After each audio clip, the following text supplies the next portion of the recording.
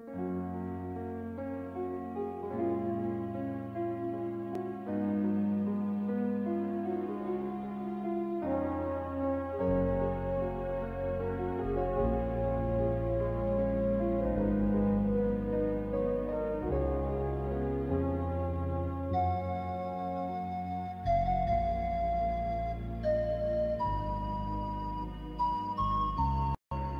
don't get miss this. When this great battle started on earth, there had to be a mutual meeting place.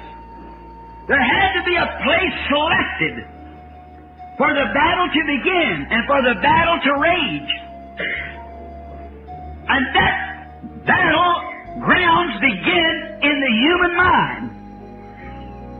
That's where the battle starts. The human mind was chosen for the place of the battle, where it was begin. And that is because that decisions are made from the mind, the head. Now they never started it from some uh, organization. They never started from some uh, mechanical affair. The grounds never started there. Therefore, that organization can never, never do the work of God.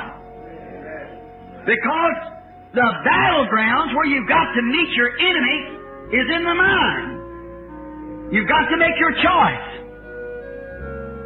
It meets you. Decisions are made in the mind, the head. That's where Satan meets you. And the decisions are because that God made a man that way.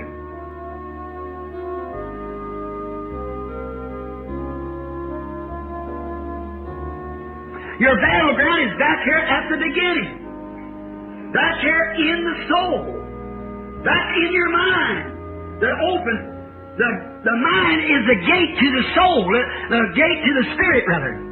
Your mind opens up and accepts the spirit, or it rejects the spirit.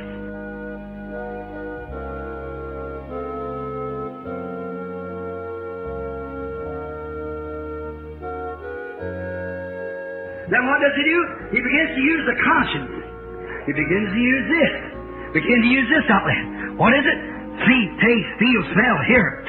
Imaginations, conscience, memory, reasons, affections. He begins to use all those different little channels as long as he can get in above this one here. He's got to come in your mind first and you have to accept it.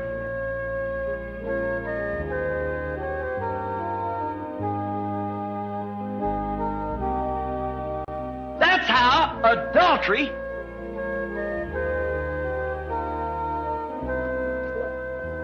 That's how adultery is committed spiritually.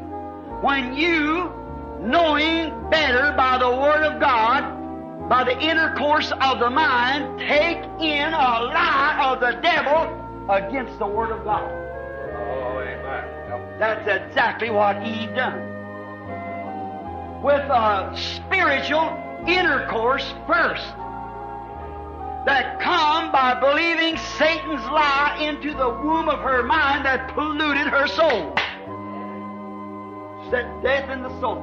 Then the natural act taketh place. Did not Jesus say, Whosoever looketh upon a woman has committed adultery with her already in his heart? Looketh upon a woman to lust after her has committed adultery with her already? Why? He let it come into his mind. That's the womb that starts the things moving.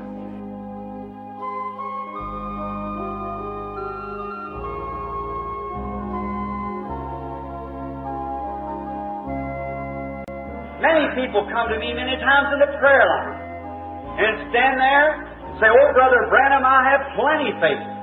I've got faith like to move mountains. And yet they haven't any faith. They hardly have enough faith to get to the platform. But they're conscious of one thing that they do believe. They're believing intellectually with their mind. And their mind will never bring them to God. Your mind is reasoning. And God has no reasoning.